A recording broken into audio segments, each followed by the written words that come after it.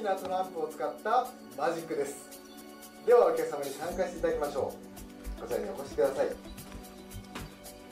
大きなトランプを持ってきました。もちろんバラバラです。大丈夫ですよね。皆さんにもお見せいたしましょう。バラバラです、えー、では軽くマスクしまして1枚のカードを選んでもらいます、えー、ではこのようにいたしましょう。右手の人差し指出してください広げますのでこれだっていうカード指差しどれでもいいですよ。これにします。指を置いといてくださいね。さあバラバラの中から1枚選びました。はいいいですよ。選んだカード見てみましょう。マークと数字があります。しっかりと覚えてください。皆さんも見てください。大丈夫ですね。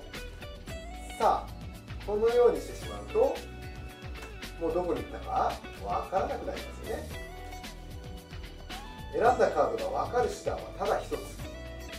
お客様の人差し指にあります。一つに出してください。実はその人差し指は先ほど選んだカードを覚えていると思います。時間が早ければ早いほど覚えています。まだ30秒ぐらいしかかかってませんから覚えてます。さああ行きました。スッと行きましたよね今ね。いいですよ。選んだカード何でした？はいわあこれがスペードのキングなんですね。よく覚えてましたね指がね。で今度こうしましょう。ちょっともう一回混ぜます。これでまたどこにいたか分かんなくなっちゃいますね。では今度はですね私がカードを1枚ずつここに配ってきます。お好きなところでストップできますどこでもいいですよ。このように。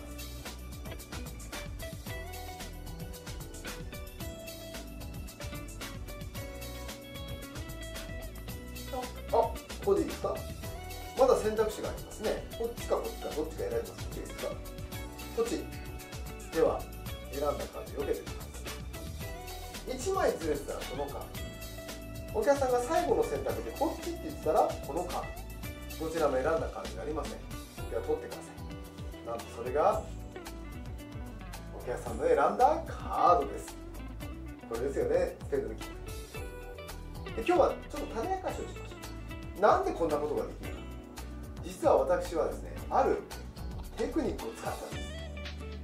これお客さんのカードですよね。でこれ2枚目のカード見てみるとあダイヤのクイーンですね。実はこのお客さんの選んだスペードのキングを一番下に今入れたように見えました？ああやっぱり私のスーパーテクニックに引っかかってますね。今入れたのは2枚目のクイーンを入れたんですほら。実はお客さん選んだから一番上に残ってるほらすごい量ですねこれ2枚目はあハートネスいいかですねこれ分かりやすいですいきますよお客さんが選んだからパッてこう入れたように見えますよね騙されてます2枚目のハートレース入れたこれ私のテクニックなんですねこれほら一番上にでもこれだけだとなんか説明できないんですね実は違うもう一つの種がこのカードにはあったんですかなり大胆な時です実はこのスペードのキングのカードが1枚じゃできないんですこれ。実は1枚じゃないこれほら2枚あってあ3枚あってあ4枚あって。あこんなにあるんですこれ。あちょっと待ってくださいねこれだけだ私は年には念に入れて全部ステードの金にしときました。これね実は全部ステードにしておきますよね。